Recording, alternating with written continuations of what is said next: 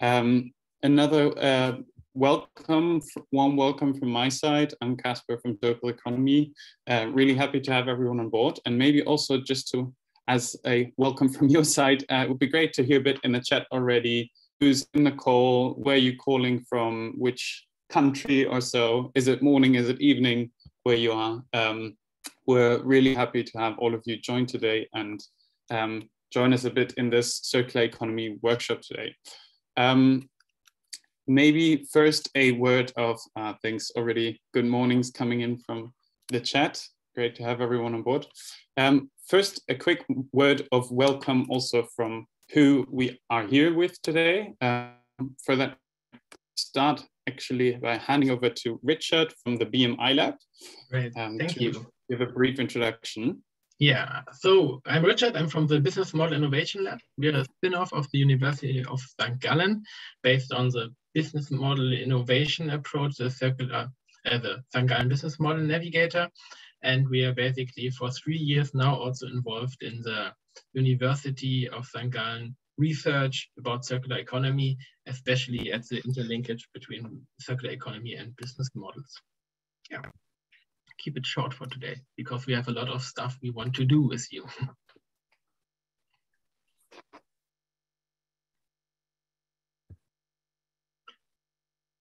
I think Casper has a bit of internet issues, as always in the right moments.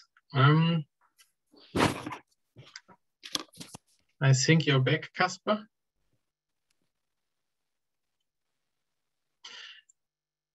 All right. So um, I hope in the meantime, until he's back, I hope everyone has received our emails and also downloaded and maybe even printed out the working sheet um, because we would like you to use that um, and work with that. We will probably not be able to completely fill it out in the short duration we have, but we um, believe that it might be very well work out um, for you to start it now to get a bit of a uh, feeling for the tools and what we will do and how we work. And then basically um, use that and maybe detail it even more after the workshop if you're if you're interested and, and want to do that. Casper seems to have been completely kicked out of the workshop, which is a slight issue because he's basically, I can maybe maybe start with that. Apologies from my end. My ah. connection was dropped. I am back and ready to share and have changed location. So hopefully we will be uninterrupted for the rest of the meeting. Uh, Perfect. then go go ahead with with your introduction. Um, so continuing with the introduction from Circle Economy, um, Circle Economy is an impact organization based out of uh, Amsterdam, and we follow the mission of accelerating a circular economy. And we do so uh, through a range of activities, mostly by providing research and public, publishing that uh, through our different channels, but also really in uh, dedicated support through kind of advisory uh, projects to businesses, cities, and governments that we work with. And apart from that, Circle Economy also acts as kind of a networking organization in a range of coalitions, um, communities of practice, and uh, other kind of the broader community that we engage with through our channels.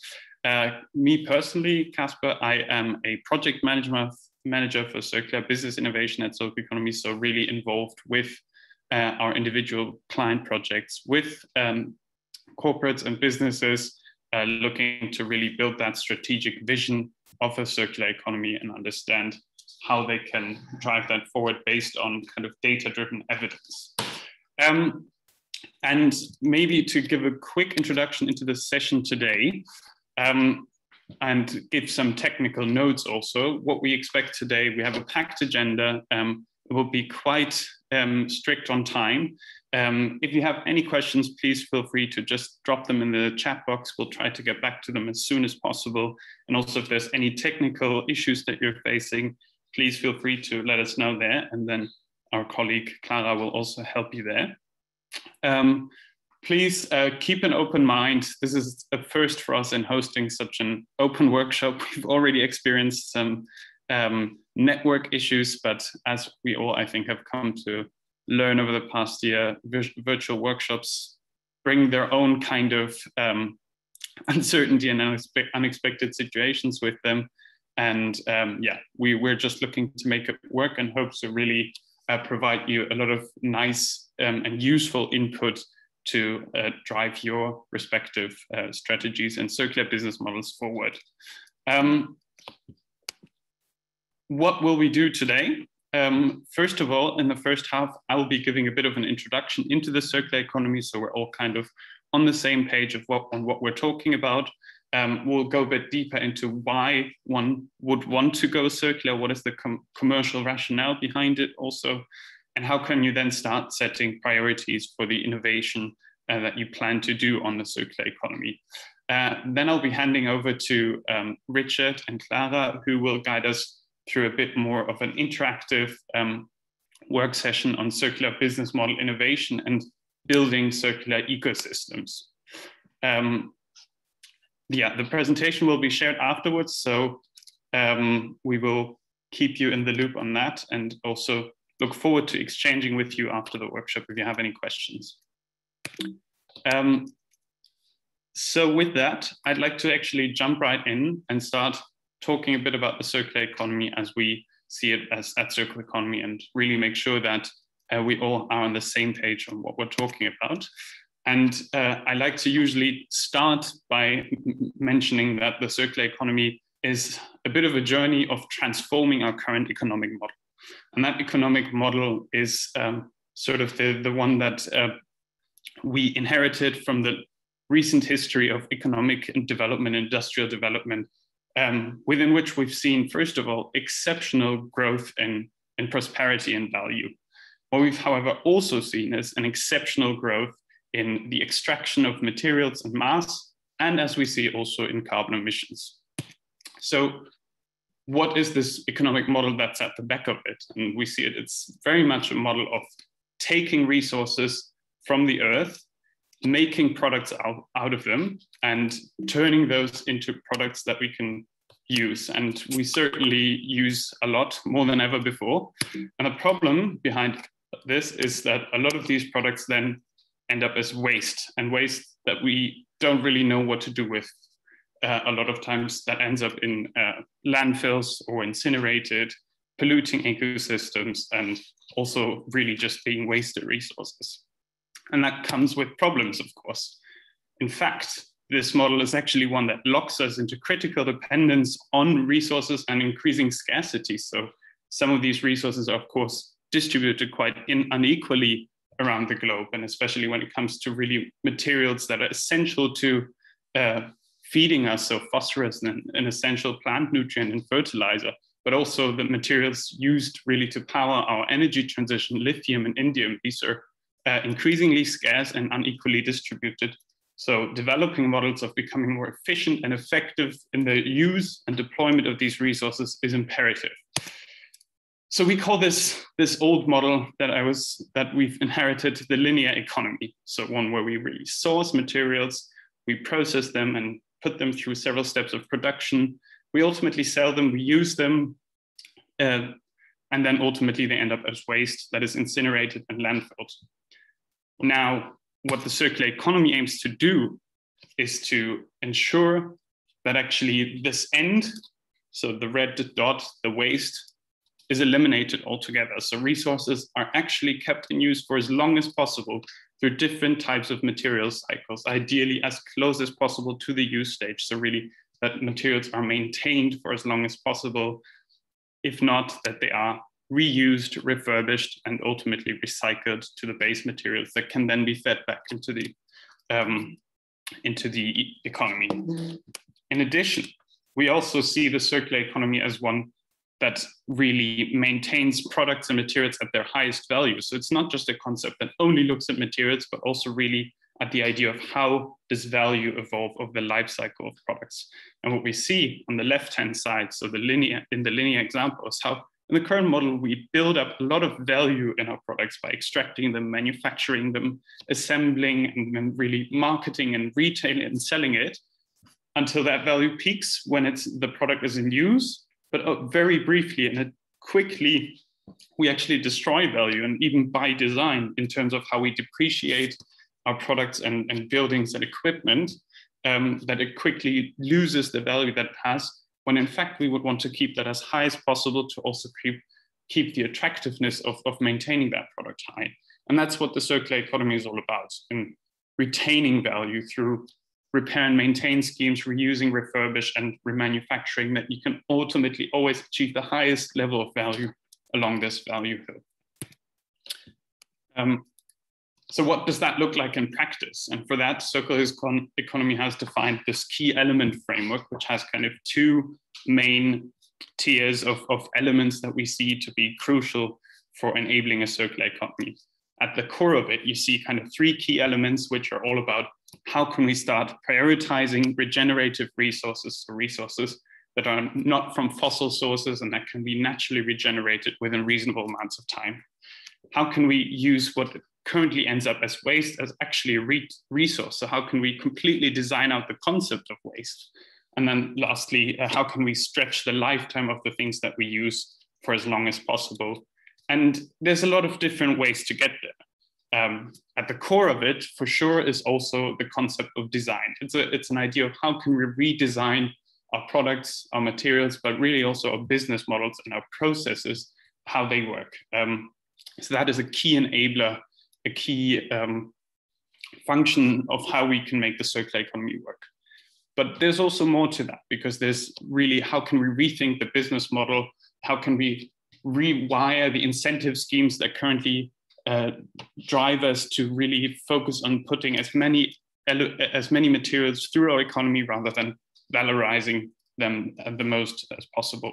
Um, there's elements of incorporating digital technology because that allows us to actually create a lot of efficiency and dematerialize things that usually had a um, really high material footprint. This workshop being all virtual is a perfect example of that. Um, in addition, we also have the concept of teaming up to create joint value because the circular economy is something you certainly can't achieve alone. It's about value chains coming together, even collaborating across value chains and rethinking how can we make the most of the resources that we have available to us. And lastly, to do that, we need to have a lot of knowledge. We need to understand the material flows that we're working with, all the options for business models that we can work with, and we need to be transparent about that. So that's kind of the last element I wanted to share. So why should we become circular? We already heard a bit, okay, there's some geopolitical scarcity and um, risks associated with staying linear and this, we know about some of the environmental impacts, but really why should your business become circular? And that's why I wanted to introduce a concept uh, that we term linear risk. So linear risks relates to the different risks associated with operating linear business practices. And with linear bis, uh, business practices, you can understand really anything that relates to the depletion and use of non-renewable resources, of course, to set up a business model that prioritizes the throughput of sales of new products um, and designing products to not last, um, to monopolize and knowledge and IP, and actually to resist change and um, yeah, the, the, the, knowledge and science backing that. Um, and what, what type of risks arise from this? So we, we kind of see four main categories of risks that are associated with this. The first one being market risk. So market risk really relates to some of these geopolitical risks and resource scarcity risks that I've already mentioned um, that ultimately can cause great fluctuations in prices and uh, trade patterns uh, that ultimately can cause quite a bit of resource scarcity on a relatively short notice operational risks are what I guess we have experienced in the past couple of or one and a half years in a lot of supply chains where all of a sudden the global supply chains didn't fully work anymore. And uh, we, we experienced supply chain failures, products didn't reach their destination, internal process failures occurred, and we suddenly were dependent on having more resources available locally. Business risk is another one that really um, threatens the fundament of what the business model of a business is currently built around. So that is really changes in consumer demands. There's new technologies, new new competitors, and entering the market. Um, there's also legal risks, and that relates to this, the tightening regulation, for instance, on which chemicals can be used, uh, but also things like a carbon tax or other environmental taxes coming up that ultimately can uh, cause a lot of risk of litigation or having to pay a lot of fines and penalties. So um, to start getting a bit more interactive, I would really like to invite you to a Menti poll, poll and maybe uh, Clara, you could quickly help us by putting the link and the code into the chat, and then everyone can join this poll. Um, because I'd really like to openly ask you, which linear risks do you feel are currently the most relevant for your business? I'm happy to draw up the slide again as we um, then present and see which answers are coming in.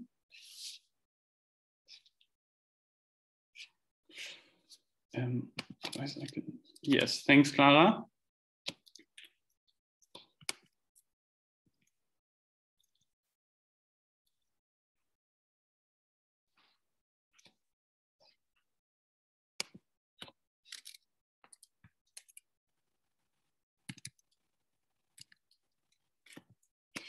So yeah, we're really curious to hear what kind of linear risks are you potentially already experiencing within your businesses.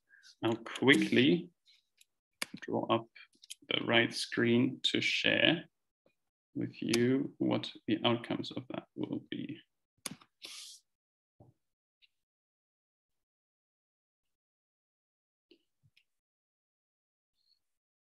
Is everyone able to enter the mirror, uh, sorry, the Menti?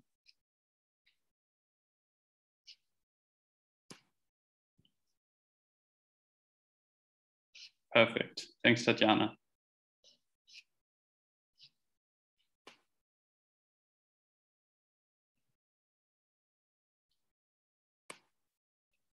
So um, think of really anything you can, it's fine to also just put down one of the four categories. So market risks, legal risks, um, operational or business risks. But if you have even more specific, so I see new consumer demand, business risk, yeah, changing regulations um, coming up.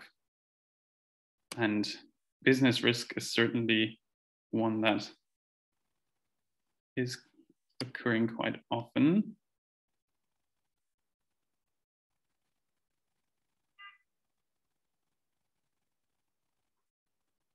More and more coming in. Business as usual, resource depletion.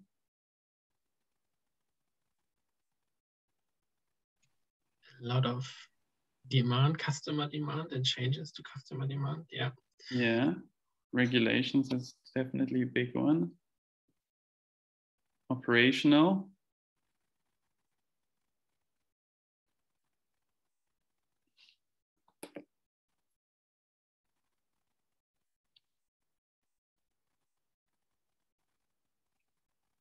Technology complacency. Interesting.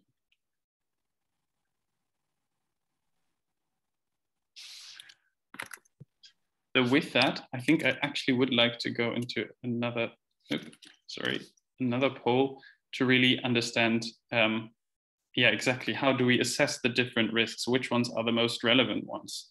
And there I see business risks already. So I see already some of you answered this.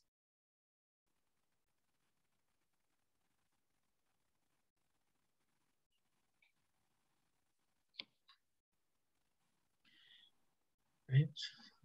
So that basically business risk is the driver pretty much matches what, what we see. And when we talk to, to many companies, that that is the number one for them and the number one driver here.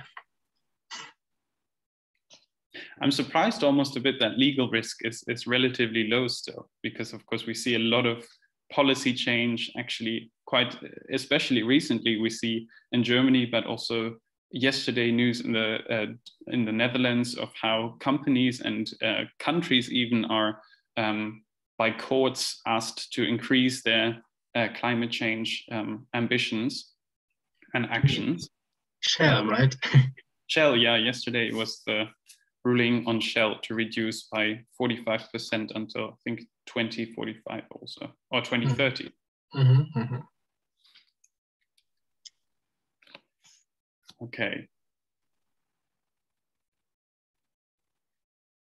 Okay, well, let's let's keep it at that. Very interesting insight. Thanks for sharing, everyone. Um, and I will go back to the presentation because, of course, um, this is a discussion um, which, which is very much about the doom and gloom of inaction and business as usual. But um, really, the narrative that I would like to strike today is also really that of opportunity because the circular economy in, in being a concept that is built around how we can keep the economy alive and how can we reinvent it is really one of opportunity and how we can look forward. So uh, what I want to focus on now is really how a circular economy makes business sense when we take into account the different angles that are actually part of that. And for that, we've um, outlined this value driver framework, um, which kind of clusters around three core drivers of value, which is how the circular economy can enable additional strategic growth of your business, how it can enable you to achieve even higher operational efficiency by reducing also the inefficiency of that waste ultimately is, um, how you can build organizational legitimacy uh, externally and with all your stakeholders that you work with, but also resilience. How can you build resilience into your business model that you are able to withstand shocks um, external shocks. And these, these drivers are, uh, if we start from top and then kind of go around to enter new markets, so that's really a growth driver that you can, you're able to target with new circular solutions, markets that you weren't maybe able to target before, um, through service models that uh, are now, now open up your product to a new customer segment. Um, you're able to reduce costs because you're able to reduce the amount of materials that need to go into your product. Um, and you're also, of course, as we've already seen, able to reduce quite a bit of risk and start future proofing your business for the decades to come. And that also relates to triggering new innovation capacity because it's really a whole different way of thinking, as we've kind of seen in this value of how we think about the value creation in our business and how innovation connects to that. An important one, I think, that is almost not talked about enough is the idea of how also you know every every company is in competition to attract the best talent on the labor market and what we've seen for a while is that um, purpose-driven company companies with an idea for the future um, that are in compliance with kind of the key uh, environmental and social challenges that we face they're able to attract and retain talent much better. Um, in the circular business model, we also see that customer value can be delivered and extended much better because um, you, you often build closer relationships to customers through the emotional bond to the product, but also through long-term engagements, through service agreements. Um, and lastly, you're able to align with public expectations. So these type of scandals that we see with some of the businesses that maybe form a bit more the linear, um, linear uh, history, even though there's also a lot of movement in those, of course, um, but reducing the risk of these types of scandals affecting your business. So in now trying to engage you a bit more, I would like to again ask you to go to Menti, and I actually see that the code is not the right one. Let me quickly provide you with the right one. Um, so it is in fact going back to menti.com, but this is the code. Uh, Clara, if I could ask you again, actually I can edit myself also.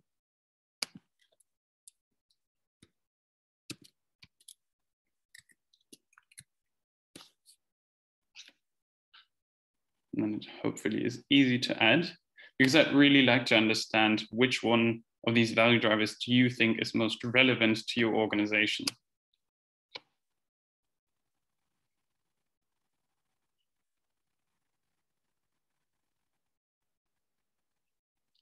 And also, if there's any questions already um, on these, please feel free to put them in the chat. I'm happy to also explain a bit more what's behind them.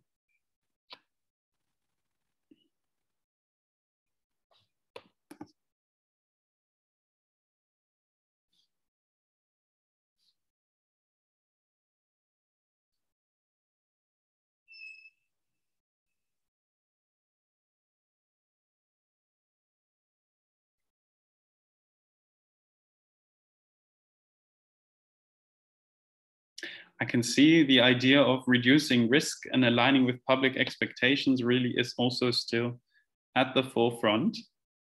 Um, let's see if, if more people also see, oh, there's the greater customer value and innovation capacity uh, are also quite up there, which I guess is a bit more of the opportunity narrative. Mm-hmm. Mm-hmm. Very positively forward thinking. I like that. Yeah.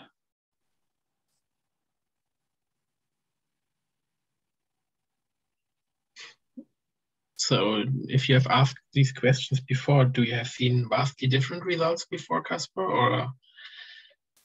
Um, yeah, not necessarily the reduce risks is always um, the front running one, but I think it, it, shows that we have uh, given quite a narrative on the linear risks before, um, which I, I do agree. And I think maybe also recent recent experience has just taught us how real these risks are of interrupted supply chains, of changing regulation. Um, and well, um, I see also Valentine asking a question, what about doing good for the planet? Um, absolutely, that's, that's one of the key drivers I think that probably most of us that engage with this topic feel. Um, but I um, now we here try to really focus on the commercial drivers, uh, but maybe what it, what it also um, is important to, to mention is that this idea of attracting new talent is exactly, is exactly that point of many people want to actually um, work for the good of the planet. So um, hopefully that. I think it's important to, to, to realize that um, oftentimes if you say it is very important, especially for the, for the employees and for the people in there, but um, as a sole driver for companies to change in our current system, it's probably not enough. That's why we assume this change now is also based on, on business imperatives and, and all these other drivers. Yeah. Well, thanks everyone again for participating in this. I think it's a really interesting picture. Um, hopefully, yeah, I think that's something we can also share afterwards what the results were. Mm. That's something that you would like to also take into your respective organizations. Um, now, for the last 15 minutes of my part, um, let me quickly go back to the presentation um, because one, one more point that I want to focus on is then now that we know why we want to focus on the circular economy, how do we get started? How do we set priorities for circular innovation? And um, that at that point, Circle Economy usually takes the approach, okay, we need to really understand how does our economic system, how op operational system, our business system, our value chain, how does it work?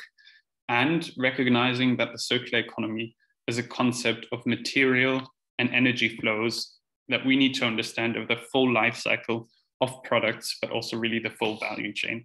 So uh, what you see here is an example from a former project of ours in the construction materials sector, so with the Rockwool Group, um, uh, where we really mapped all the material flows associated with their stone wool insulation materials from really the origin. So is it, where is it sourced? Is it bio-based materials? Is it virgin materials or secondary materials? Through uh, the different categories of inputs, the manufacturing stage, how it ends up in the built environment being used, and then ultimately um, at the end of life being recycled or what, what, what different types of waste management treatment um, options are out there. And I think it's really important to acknowledge this idea of life cycle um, or material flows over the life cycle of products. And that's something that I also want to take forward First, I want to show you another example um, from a very different organization. So this is from retail, actually, because also retailers, of course, have um, systems that they, operational systems that they're embedded in. And maybe they're not producing themselves, but they're sourcing, of course, a lot of materials and then also distributing them through their retail network. And also they have then associated with that a lot of waste streams. Why did I show you these examples? Because um, once we start collecting these um, flow, these this information about the flows, and we start understanding really the the life cycle um, material and energy flows of our business, we can start measuring how circular we are. and we can start defining indicators of um, where we can also start improving on that. So um, in the field of metrics, and it's really a, an evolving field of circular economy metrics, um, we see different types of metrics. We see, for instance, the big headline indicators that gives us an idea of how circular is a company, is a country. Um, so that's just kind of a percentage circularity, but also we can dive deeper into really understanding, okay, along the value chain, along the, the system that we've shown, how um, does the company perform at the specific levels where, where circularity becomes really relevant? And of course, those are different for every business. Um, what I just wanted to share also in the, in the creation of a circular business model, these metrics can be used at different stages. So at the start, they might be used to just create awareness and set a baseline. Uh, they might be used to identify and track opportunities, but also really to then start comparing them against each other and understand what are the drawbacks and benefits of them and how can we even build a business case around them. And then lastly, they may even be used to really validate and share your results, ultimately even in reporting. So um, what do we need for that? Of course, we can only create these metrics if we start collecting data. And that data um, takes different forms. So for instance, in the example of Rockwool now here, we see that there's data on the material extraction. So what type of materials are extracted and what ecosystems are they extracted from? So is it biomass? Is it mined materials or is it secondary materials? Um, what is the production and processing data? So how, what, what are actually the production volumes? How are the products assembled? And uh, what also production waste is created during production? And then very importantly, of course, the data on how is the product actually used? What is the usual duration of a lifetime? And um, what type of wastes maybe also arise during production? But then that is also mainly covered under the end of life data. Um, so really, what are the waste volumes generated by products uh, or by businesses and how is that waste handled? And then in terms of the secondary materials, we, can, we start measuring that through cycling flow data or secondary material flow data. And um, very importantly, of course, we can't ignore the topic of energy because very much so still our energy is based on fossil resources and those are also materials that have a material footprint. So um, what can we do with these, this type of information? We can start calculating metrics. We can calculate an overall material footprint. We can start understanding better the efficiency of our processes. We can start understanding the life cycle of our products and how we could potentially extend things, make them last longer, how we can integrate multiple use cycles, um, how we can better understand the end of life of our products, how that can be optimized, how resources can maybe be sorted better, to then ultimately end up as secondary materials again, which is then our secondary input metrics. And as well, we have renewable energy metrics because they tell us something crucial about what the material footprint of our energy supply actually is.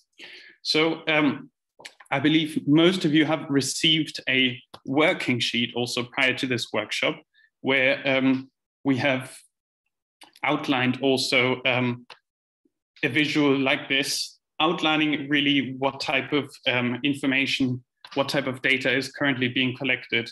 So what I would like to do first of all is to understand already, um, well, maybe, let's actually start with understanding system boundaries because that's something that I haven't, um, haven't explained properly yet. In an analyzing our these systems, we need to understand really what is our um, level of control over that system. So um, where do we really operate the processes and where are we just buying things from a supplier or selling something to a distributor? So where do we need, where do we have influence but not full control? So that's kind of the first task to really look at where do we have full control and where do we have influence because that really tells us something about how much impact we can also have on these points in the supply chain. So if I start explaining now on the example of Rockwool, um, they had immediate control over really which inputs they bought.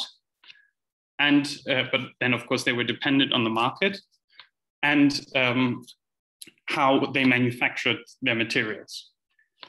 When it came to use and end of life, that was already somewhat beyond their control. So they were trying a lot to get materials back, but that wasn't all possible because it was subject to legislation, to the existing waste management um, management processes in, in the respective countries. And also when it comes to where the materials exactly come from, they usually source those externally and um, needed to then also ensure through their suppliers that they can be better. So for each of your businesses, it would be really interesting to understand what your uh, system boundaries are, where's your sphere of control, and where's your sphere of influence. Unfortunately, we won't be able to share much on that with each other, but I hope this is a, an, a helpful trigger also for your own discussions internally to use this worksheet and maybe even start thinking more, okay, where can we, what can we change and where can we do so? If you do feel like dropping a note on um, on what you think you can change best in the chat, please, we'd really welcome that. Um, we'd be really interested to, to see that shared. Um, but maybe before, I would also like to touch upon the point of data, because it's interesting to, with in mind where you have control and where you have influence, to understand what of this type of data are you actually collecting already. Um, and to Zoe, I think the, the worksheet is available. I think it was sent already, but we can also resend it again with the presentation afterwards. Um, but yeah, the point being that it would be really interesting to understand which of this type of data are you already collecting? Or um, are you aware of this from, from, your, um, from your organization, which data is collected? Or where do you wonder if we you might have access to it if you're not collecting it yourself? Um, so to also fill that in on the worksheet. Um, and if you don't have it in front of you, we will send it to you. Feel free to maybe already share in the chat what type of data, if you have any data on material flows and, and energy use available, or if that's something that your company is not collecting at all. Um, I think that would be interesting to hear as well.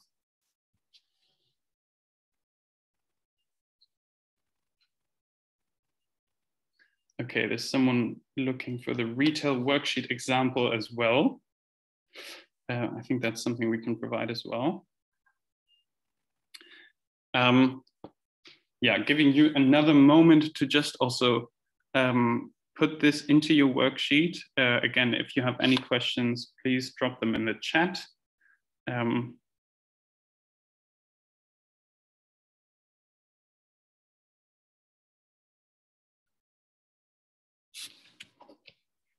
And otherwise,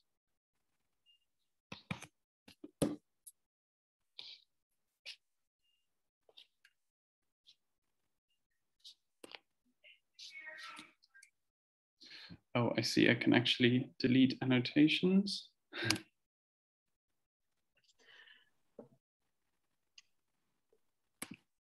Interesting point. If you, for example, see um, as Rajul is pointing out, that the data is not being collected at all. Um, what from your experience, Caspar, are first good steps to start collecting that data? What are the reasonings you could put forward in your company? Sorry, what, what are the um, reasons why companies don't collect data or? Well, how could you argue the, uh, within your company, for example, that you should start collecting that data? Um, well, I think it, it, comes back to the opportunities and risks that we discussed, right? And, and materials are certainly at the core of that. I think um, also more and more we get a better understanding of how our consumption of materials directly con- uh, related to, for instance, um, emissions that we have uh, from, from our business and how if we want to reduce emissions, if we want to achieve our um, climate targets, um, we also need to understand the full scope of, of, of emissions and materials and our material use certainly uh, caters to that. And then there's really also, of course, the um, the economic aspects of what what the opportunities are behind actually becoming more efficient in the use of resources. How um, your your the data about how your consumers use your product and how long it lasts is actually critical to making your products better and improving the, the user experience. So um, yeah, I think there's really a range of um, rationales why, why this data is critical, but um, I, I, completely understand also how it's how it's not common yet so much to, to start collecting data and asking for data that is beyond your control and therefore also oftentimes beyond your responsibility. So once something becomes waste, it it oftentimes is not recorded in data because it doesn't have immediate value and it's not necessarily always the responsibility of the company to take that over, if it, especially if it's not covered by an extended risk, um, producer responsibility scheme. Yeah, and I think Finland makes a good point here that maybe they don't collect the data because they haven't had enough damage or so. But on another point here, for example, there are increasing number of companies, for example, um, Salesforce, who basically now ask their supply chain to basically collect that data so that they can start um, being more green and also also showing and highlighting that on their end, yeah. which means that increasingly also more B2B companies will have to start collecting that data. So it's becoming business as usual, if, if you want to say in, in management language. Yeah, absolutely. Um, so th this is actually what I will be closing for um, my part of the presentation today. What I want to, of course, uh, still close on is kind of how this all comes back to the, the elements of a circular economy and how it should help us set priorities. So hopefully you also got an understanding now for how different material flows and the, the, the, their volume in your system also means that you might have different priorities in terms of prioritizing regenerative resources. For instance, if you're completely powered by fossil energy and all your uh, materials come from uh, virgin resources, then you can more and more using secondary materials, moving also into the waste, um, using waste as a resource and uh, increasingly using regenerative biomass products um, that are sustainably grown. And uh, how you can start thinking of okay if you stretch the lifetime if you extend uh, your your product life cycle duration more how that also has repercussions on the overall amount of products that you will need to produce and servicing those products will actually be the guiding um, driver of value creation rather than selling new products and materials. Um, as we then also look into the outer tire, tire of, I think, what, what makes up a functioning business model around these, um, I feel that's the perfect bridge to you, Richard, to actually help us understand a bit better what will be the key elements that form a successful circular business model. How can you start ideating and innovating and brainstorming towards that? And how can you then build an ecosystem towards that? Um, can I hand over with to you then? Perfect.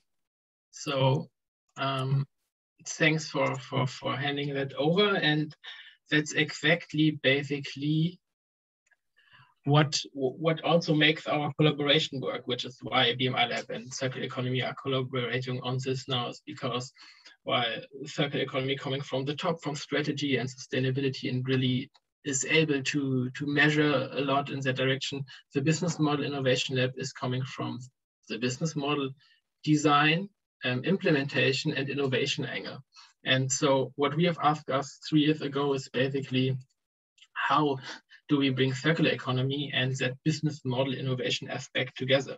And as um, Caspar has said before, we see more and more pressure on companies to change now and to change for them means to change products, but also more increasingly to change business models here.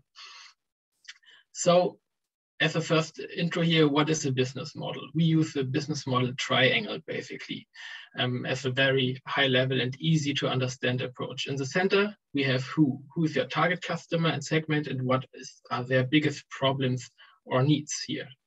Um, what is what you offer as a company or within your business model, your value proposition, your products and services that you that you offer to these customers and the how dimension, the, the third dimension basically asks how do you generate and deliver that value proposition, which activities, resources, part and partners are important to create that value. And at least, last but not least, most importantly, profitability. How do you capture the value you generate? What are main costs and revenue sources? And when you look at that, and that's been the standard description, even though in uh, much more detail in other kind of business model concepts. That's the overall viewpoint. What you see is that there's nothing to be said from externally of the company. nothing to, to be seen here. And more interestingly, even when you read about it uh, in the business model world, uh, when people talk about sustainable business models, they usually mean long-lasting business models that generate a long-lasting profit, so that are stable, basically, not the sustainability we are talking about right now. So when we started on the collaboration with the University of Wangan, we asked how we could bring that together. And one of the most simple and, and well-known concept is obviously the triple bottom line, where you look at people, planet, and profit, and, and the intersection for them. And when you when you see these two concepts, it's quite easy to understand. Okay, we can really merge them. Meaning, if we look at whom we are offering a certain product, what, and how we create that product, we quite easily see what will be what is the impact on the planet that we have when we produce that. Um, on the other hand, when we look at what we create and what, what's the value we generate with that for whom, we see the impact on the people and also how we create it and how we let people pay for that, what's the revenue model, we see how that impacts our profit. And the important part with that concept is that we now have, have something which we can use to design or also analyze our current business model to basically, because what you don't measure, right, and what you don't account for, you don't, you don't, you cannot change. And that's why that is basically the, the, the foundation to, to improve upon what you have right now. And what we want you to do today and now, oh, more detailed planet means what is the impact on the environment basically and what is the impact on people and society obviously. And um, as we want to have that as more of a work, workshop than a webinar, um, kindly get your working sheets out now again, because we want to start um, by having a qu quick session, six minute session with you, where you basically try to note one business model. It can be a business model of your company or your business unit. Usually companies have multiple business models. So maybe think about the business model that you are most familiar with maybe if you're responsible for a product, take that business model. If you're working in consultancy or so on, think about the one business model from a client that you know best. Or if you have no relationship at all, we would suggest maybe think about IKEA, which we all know, their traditional business model, and think about that. And take, take the sheet, the 2.1 sheet, where you see the sixth dimension of the circular idea sheet. So what, who, what, how, value, planet and people and try going through the dimensions, try to describe that model right now. Do it basically one to two post-its. We cannot go into too much detail now, but uh, we would love basically to, to have having you thinking in business models, think about it, and also think about the implications. So six minutes uh, starting now.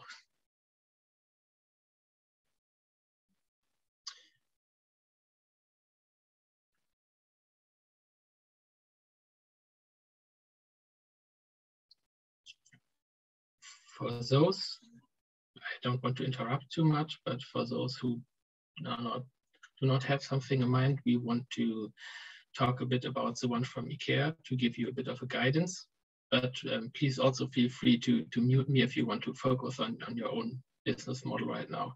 It really is important and helps to think through the dimensions, starting with who, to have a high level understanding, because when we talk to people, everyone basically at a company, at the same business unit, kind of describes their own business model differently. And it's important to have a common foundation here to understand what you want to change and where how you can assess, assess, assess basically what you have right now. So for IKEA, customers are mostly uh, cost conscious. It's also small businesses and mainly families and students who initially um, were the main focus group of IKEA. Nowadays, it's much broader, it's much more well known. But um, price was the initial trigger for um, for their consumers, which was the focus on, on their on their product basically and on, on their products and how they handle the products and how they basically set up their whole business model.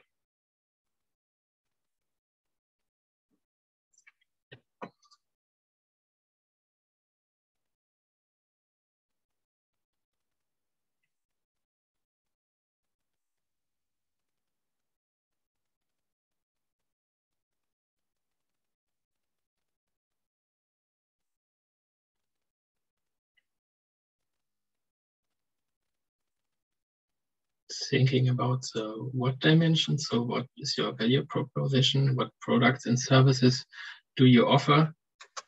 Um, it's basically affordable and functional home furniture, meaning um, initially when they came to market, you had very, very pricey furniture and they were the first to offer a really cheap one in the do-it-yourself style, which we now really completely um, think about when talking about IKEA, as well as their specific shopping experiences, meaning their restaurants that are included and start half an hour earlier than the shop by itself so that people can have a breakfast and then start their shop shopping experiences the way they design their stores.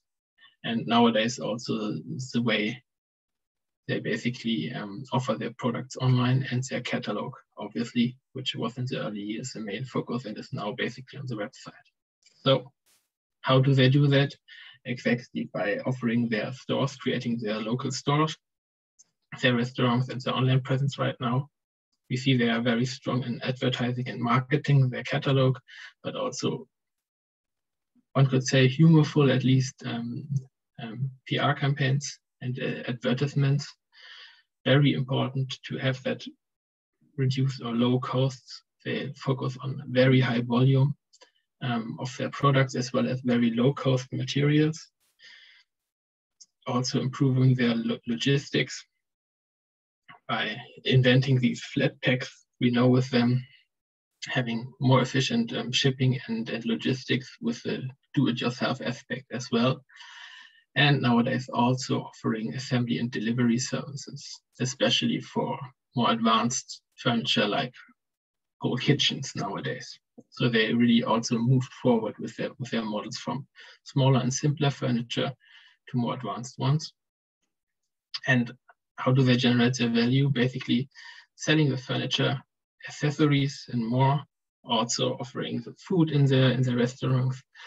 Um, for example, in Germany, IKEA is one of the biggest um, fast food um, um companies overall, and also having their assembly and delivery fees, obviously. Reduced their costs on the other hand side, as I said before, due to the high volume due to the self-service, we know also from the from the shop and store system, as well as volume and materials, basically. What they have seen and changed now on the environmental side, basically they, due to their large volume and due to their, mass production, this is always difficult to get it right, right?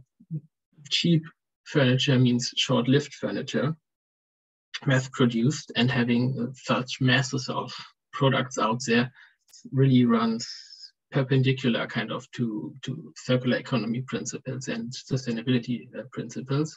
But at the same time, they really start to, to improve on that, working with um, certified or recycled wood and materials, uh, increasing that, and also having sustainability requirements for suppliers in place, trying to more and more leverage their position as one of the biggest furniture um, producer in the world to, to drive a change. But initially, really, really issue with changing the furniture world from very expensive, very long-lasting furniture that is also resold to a short-lived um, mass market, basically.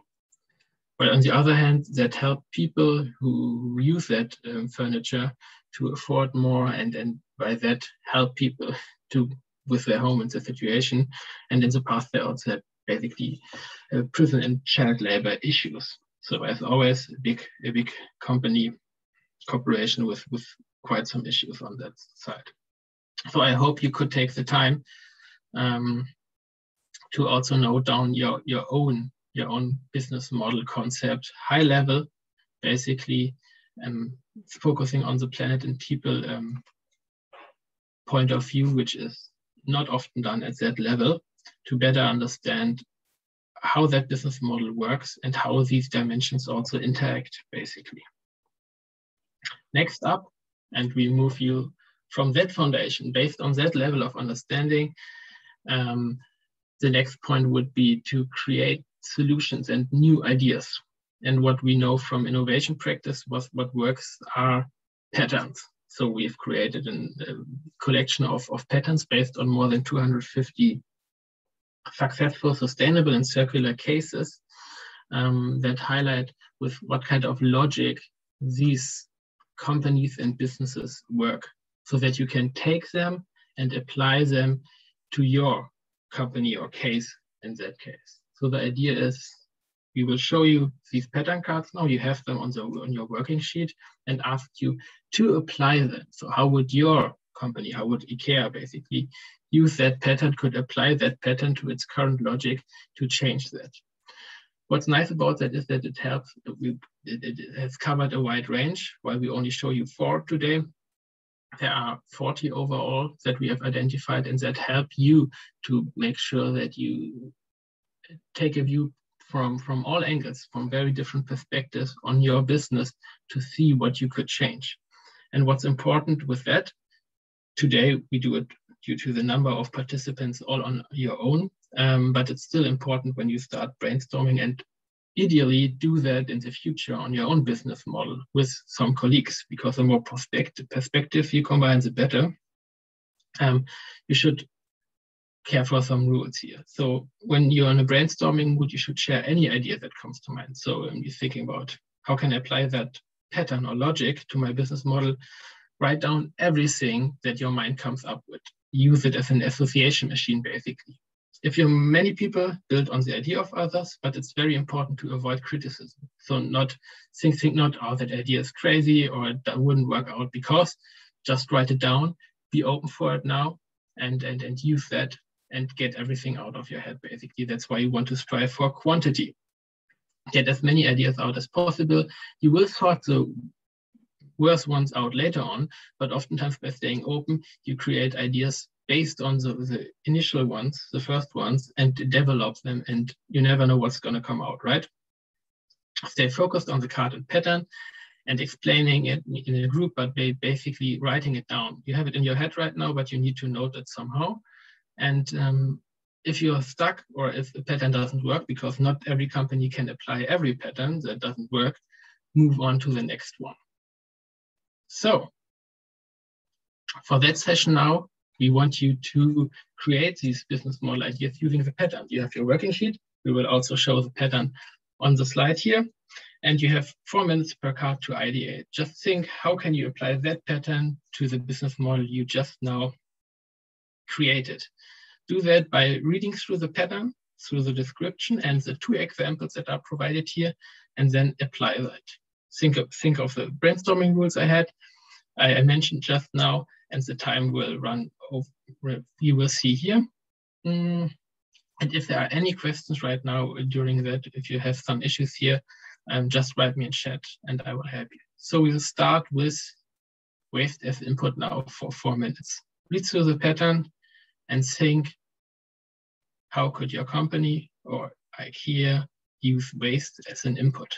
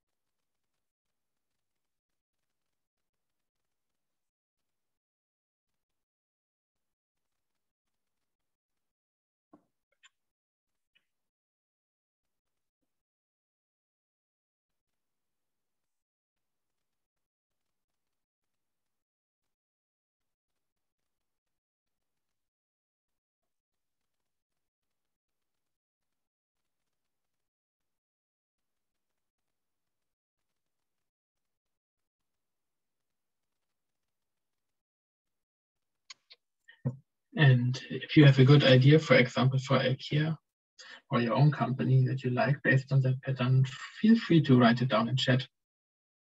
We can we can discuss it and basically gather them for, for the next step here.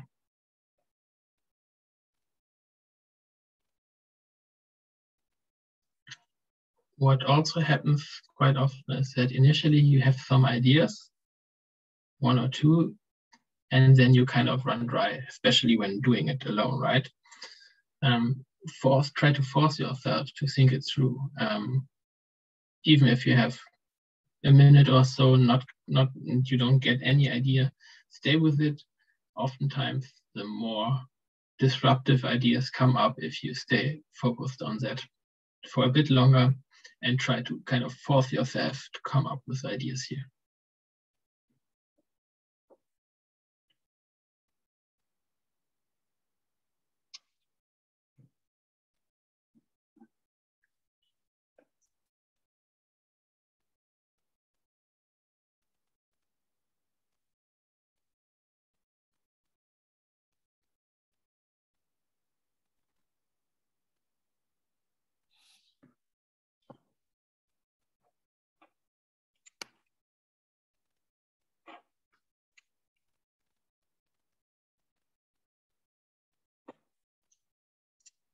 Richard, shall we start a little bit of a brainstorm on IKEA already here? I was just thinking it would be cool if IKEA had like a collection of products that are made from products that come from the, like waste products from the region, you know, from because they're still or like uh, the factories are, I guess, often surrounded by other types of industries. So if they have like a local circular collection or something like that, yeah using byproducts from local production. Yeah totally totally. And it's like a got a nice uh, touch to it of showcasing people the the waste from their own region. Yeah. Yeah. Carla, feel free to to okay hey, hey. I, I thought I'd pitch in. Yeah go ahead. An idea for ikea maybe a little uh, inspired from Fruit Leather Rotterdam. I mean, in Germany, it's that they have a huge um, um, food um, apartment, a food place where you can eat a lot of food. And they probably also have a lot of waste or residuals from that. So maybe they could use that and not just like the food, but also all the packages the food comes in. Maybe they can, yeah, play with that a bit and design something out of that, especially for example, if you think that you get, get like paper and maybe even plastic, you could um, shred all of it and make reusable um, geschirr, um, like mm-hmm. plates mm -hmm. and drinks. And then it, you could even sell it where you get the food from there and you could promote like no plastic using um, plates when you go picnic or something like that. And That's wonderful. Good, very good idea. Thank you, for, thank you for sharing because um, with a company that big, it's quite easy to create, create your own loops within your company and and having having those two aspects like the food aspect and the product aspect it might, might makes a lot of sense to create a new product line maybe even completely based on that. Lovely idea. Thanks for sharing. So next one for now um, dematerialization. I'll give you a, a, minute and then maybe Casper and I can also start brainstorming with you. So feel free to also raise your hand again if you have a good idea.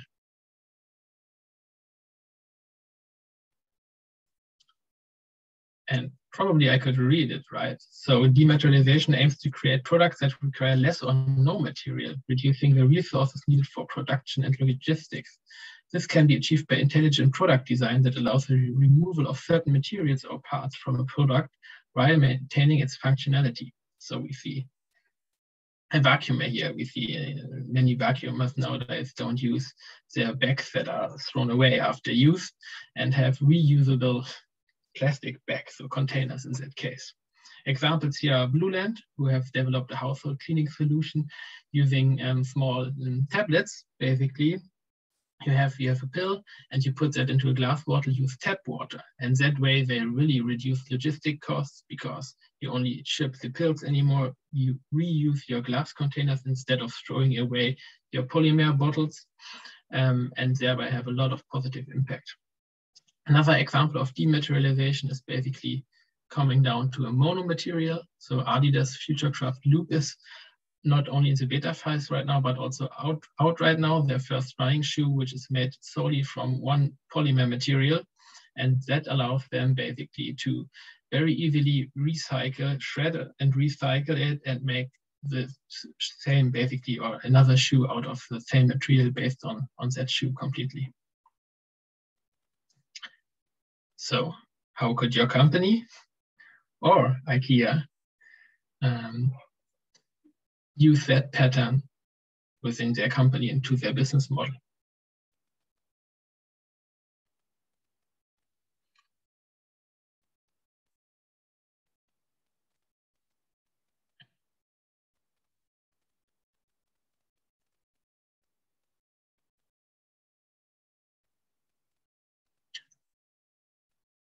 what I'm often thinking about is also packaging, right?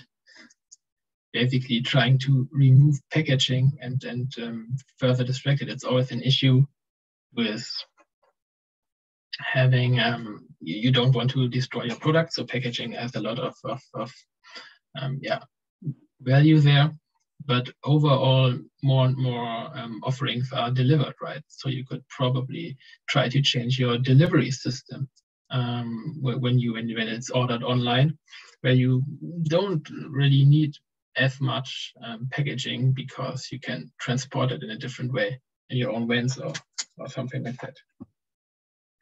Other ideas Casper well I, I think one one that i have is already in in action at IKEA or something, at least something they're working on with having like their, showrooms virtual and um, also enabling that people through augmented reality can really already see what what the um, furniture would look like in in their house, um, which would yeah also enable I guess having fewer or smaller showrooms and also uh, smaller um, smaller warehouses yeah, totally. Or at least, um, yeah, more centralize the logistics and, and make it more efficient, basically. Exactly. Good point. They basically dematerialize with that concept the whole store system. Wonderful. Any ideas in chat? Ah, didn't know that, Clara. An audiobook. Yeah, right, Eleonora. Repack is a very good example. Um, it's not exactly dematerialization, but that's the thing. When you think about these things, we often say in an ideation, it doesn't matter at all if it's really to that pattern. Repack basically is a startup that uses um, plastic-based um, packaging, which is reusable. So you get your stuff after you take it out, and afterwards you can fold it together into a, a letter size and put it into into the postal system again. It gets used again. So that could be an alternative, maybe even for spare parts and, and other things that IKEA could offer, which is basically based on e-commerce. So let's move on to the next pattern. Performance-based contracting, a tougher one, at least for the IKEA example. So performance-based contracting enables companies to offer their customers a comprehensive value proposition where payment is based on the outcome of performance instead of purchasing the product. This way, it transfers the ownership from, from uh, the, the transfer from producers to users is avoided because I, as a producer, stay as the owner of the product and basically sell the performance of the product. Very well-known example is Signify, formerly Philips Lighting, who offer um, a whole lighting infrastructure. So instead of buying the, the light bulbs and all that stuff, they do that for you as a service, mainly, obviously in the business to business area. And what they did basically is say, saying, we are more efficient. So you pay us based on your savings compared to the level before. So it reduces energy consumption for the consumers, aligns Philips and customers' goals basically, because now we move away, and that is a decoupling what, what we want to achieve um, from, from value generation from resource. Because instead of having short-lived light bulbs that need to be changed a lot and thereby bought again and again, now the goal of for Philips is to have even more long-lasting um, light bulbs and in, light infrastructure because they need to uh, maintenance it, repair it, etc., etc. So they they have more benefits the longer their systems last right now because they are based they get paid paid based on the performance their system attains.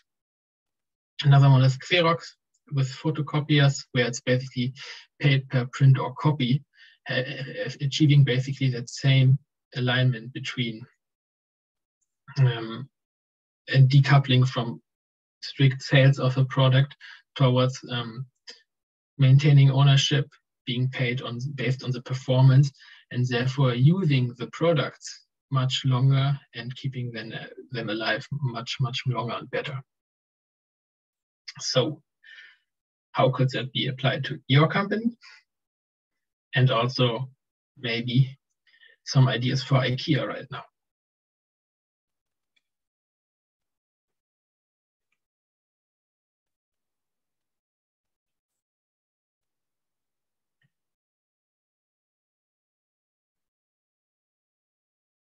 Finland asked the question here, how is it different from a rental model?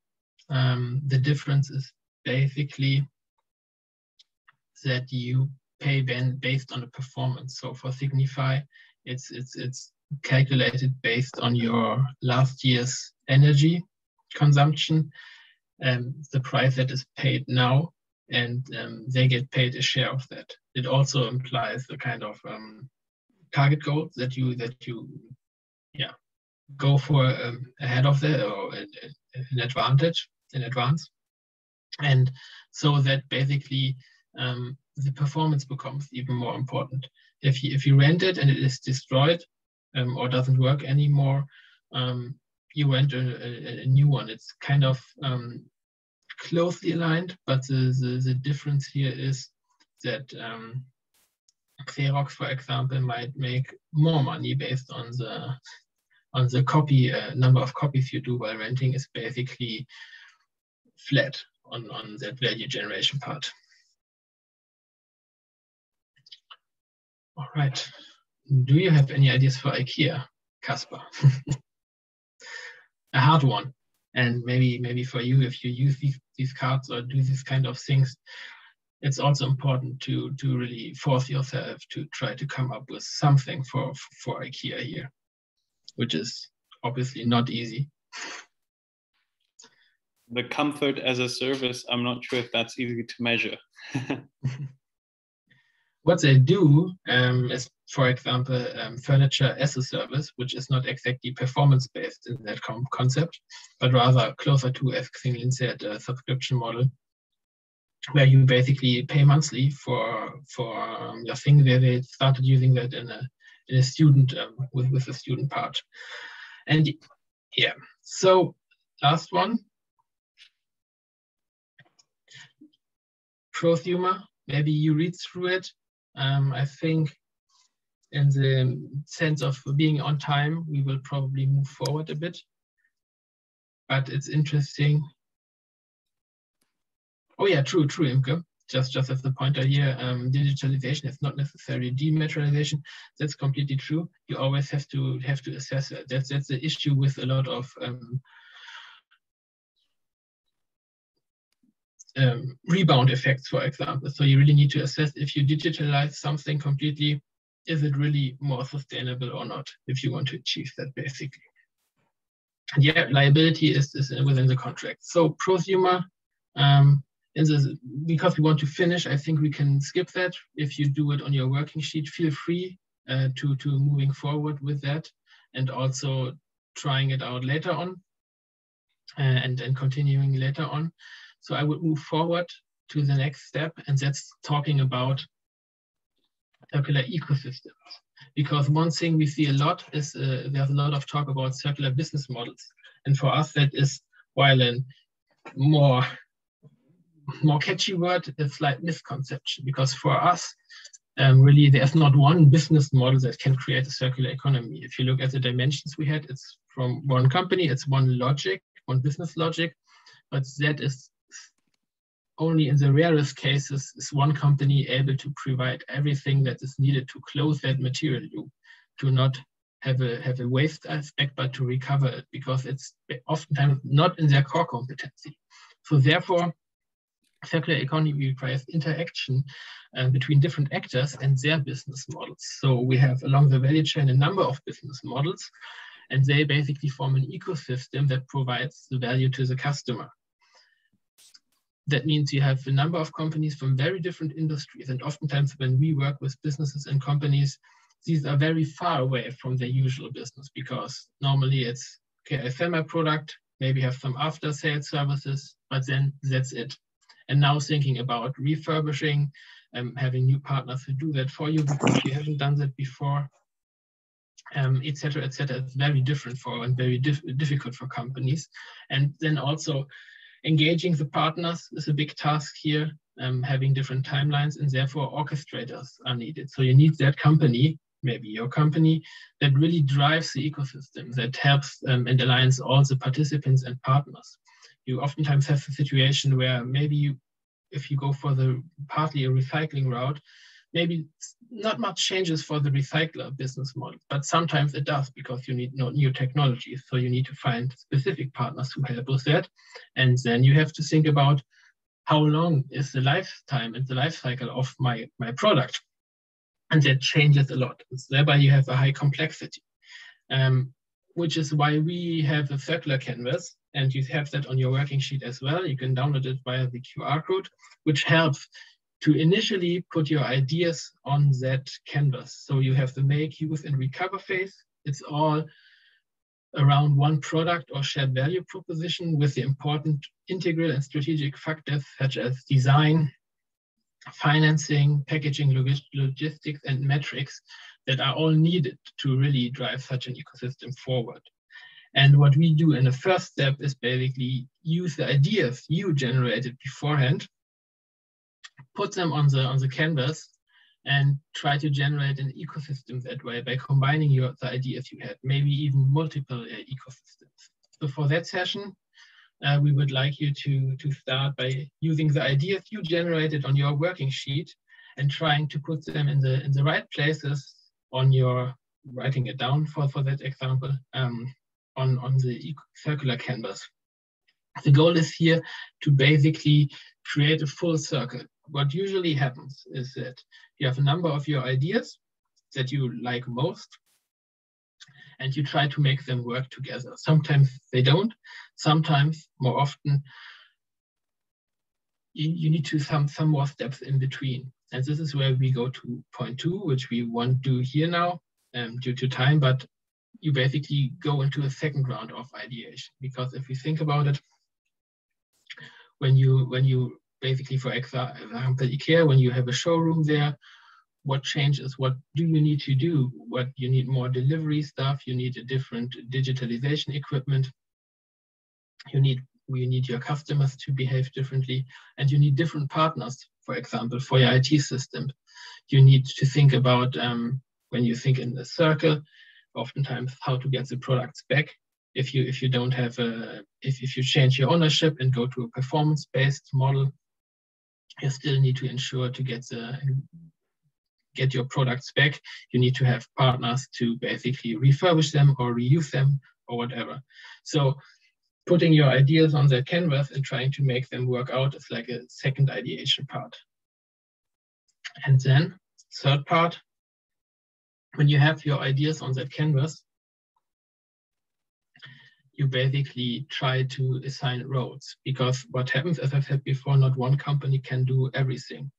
And by having that interest, your, your good ideas on that, you can see, okay, which roads will do or implement these patterns and these aspects, which roles are needed to fulfill that loop and to, to create that circle. And thereby also identify which are the most crucial ones. As I said before, maybe the recycler already recycles the material you have in use, so you need to just design your product for better disassembly or so on. Um, but there are maybe other partners who are very, very crucial to your ecosystem, to your future ecosystem. And then you have to think about, will we do it ourselves? Or will we basically um, need them to partner uh, who need a strong partner with that, and then you can start to reach out to them. And when you when you have assigned these roles and seen which ones are important, take a look at it. And oftentimes you still see some gaps if you really really think it through step by step. And that is where we oftentimes it comes in handy that you have more ideas than you put on the canvas. We oftentimes come up with with multiple canvas um, and try to make it work and have your your whole loop um, as basically your your your goal, your target, which has of when you work in a group many, many different interesting ideas and, and concepts in there that you then can take forward and start to assess with potential customers, with potential partners to basically make sure that what you create here is not only sustainable and interesting, but also um, satisfies their needs basically.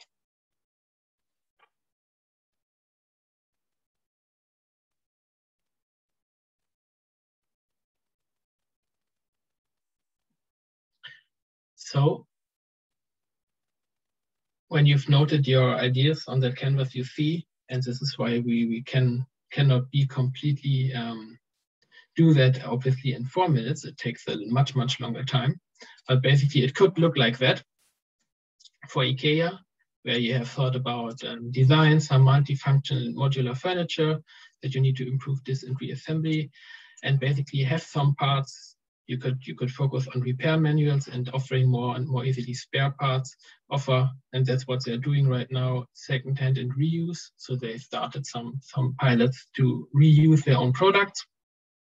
And you have all these ideas and then you basically see they also use rice straw waste as an input for example.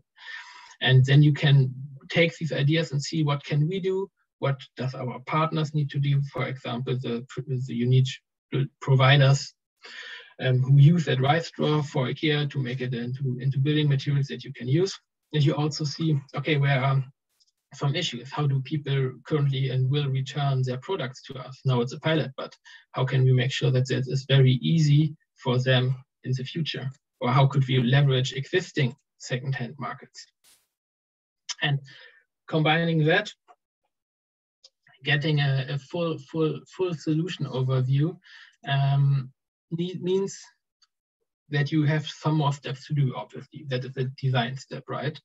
And um, we have a, created at the University of St. Gallen a circular navigator, basically, that covers it in seven steps. That's basically the structure. And Kasper has talked about impulse and identify. Um, we have done an identification of your current business model very briefly nowadays on the business model level. We use the pattern cards to ideate and we integrate these ideas on, a, on the circular canvas on ecosystem level. We have 40 patterns. Um, Clara already, already said uh, at circularnavigator.com you can you can um, get them. There's also the white paper to download where you have them all listed with the examples, so you can use them. And we are working right now on the digital version for the future. Next step after integrate, as I've said, you have your vision and you know which partners you need. You need to have a yeah, we call it imagine. You need to create a vision that unifies all actors, basically. They need to work together. So you need a common vision to align your management internally as well as externally and have to coordinate all the future partners. And what's very important is that we have iteration steps. So it means then next step would be incorporate getting partners on board. You might have started with some already. You might need new ones that you identify and find based on what you envision them to do as a role and which business ideas and ideas you came up you want to implement for them. But then also need to incorporate their aspects and vision and thereby that ecosystem develops and improves um, further and further. And therefore for incorporated um, you have to uh, think about the time perspective. Long time perspectives are difficult for companies. Orchestrator i already talked about and what we I see very often, companies need to move beyond their own border with ideas that are still very early stage. And many struggle with that because they want to move out and say, okay, we have that, it's done, because they have a certain reputation. But it's important to be open and to, to talk early with potential partners because a lot will change. You, your first canvas is basically a starting point. And you should stop thinking about competitors and more about partners because you see that in that area a lot. For example, Loop works with many brands and many brands try to, to work on reverse logistics together because they cannot handle it on, your, on their own. And the last step, implement, realizing that solution, creating that. Then we're back from the ecosystem level to the business model level, where each company and each partner needs to basically implement and realize that solution. So they need to adjust their business models in interaction and in accordance with the ecosystem that you together generate. And um, basically that oftentimes involves a lot of cultural change along the way because you need to be more open, you need to set up different metrics and guidelines and so on and so on. And basically test the business model in each phase by itself. If we're talking about different, some products have 10 years of lifetime and, and more. So you, you really need to help your partners who are basically at the end, or that's yourself, I don't know, um, to assess whether that works for them. So prototyping, MVPs, and assumption-based discovery are very, very important here. And as we are running out of time now, we are at the end. So I hope we gave you a quick overview of some of the tools, some of the over, some of the process steps you need to do. We really want you to work with that working sheet. Um, use the patterns, for example. Um, take a look at um, at, this, at the, uh, the working session from from Casper again. Check uh, where your biggest issues and hurdles are, so that as a next step you can use the content and approaches from the working sheet and also, we will share the recording and slides with you at your company. Maybe start a conversation with some of the ideas you now generate or some of the aspects you have. Or if you are already in, in progress of that, try to use these concepts to systematically move, move forward. We will send you an email with the recording and the slides. And as we said before, the Mentimeter results and also the working sheet again. And please feel free to reach out to us. We are very interested in having conversations with you about what you do and, and how you do with the specific, specific issues you have and what are your challenges, hurdles, and, and how do you want to tackle these problems. With that, um, we're at the end of our, of our workshop. Casper, you're muted. Um, we hope you, you enjoyed it and you, you, you the, the interactiveness and you really worked on your working sheet. So if you have some ideas there and want to share it with us, please feel free here. Yes, thanks, Richard. Also from my side, thanks everyone so much for joining. It's been really fun to go through this with you, and hopefully we can connect on this going forward and um, yeah, inspired you a bit to take this also forward within your respective organizations. Thanks, everyone thanks everyone looking forward to hear from you interactiveness you know and we also learn a lot from from your feedback and from what you already do and your thoughts that's very important for us so digest it feel free to come back to us next week probably and enjoy the weekend quite soon. And thanks for joining and participating. And um, have a great day. Bye bye and thank you. Thanks all. Bye